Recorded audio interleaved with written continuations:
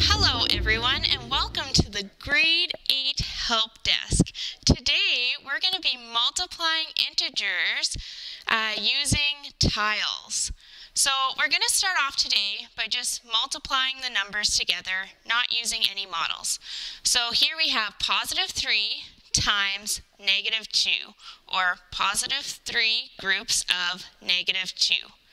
I have two opposite signs, which tells me my answer is going to be a negative, and 3 times 2 is 6.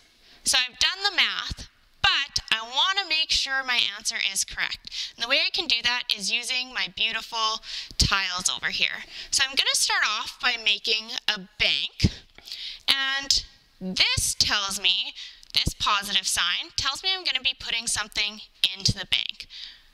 In that bank, I'm going to be putting three groups of negative 2 tiles, or two of the red tiles. So I'm going to start off by dividing my bank up into my three groups. So my first group, second group, third group.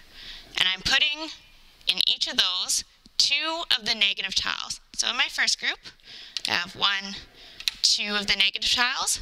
My second group, I have one, two of the negative, negative tiles, and in my third group, I have one, two of the negative tiles. And now I can count up how many tiles are in my bank. One, two, three, four, five, six of the red tiles, which would be equal to negative six. So my answer is correct.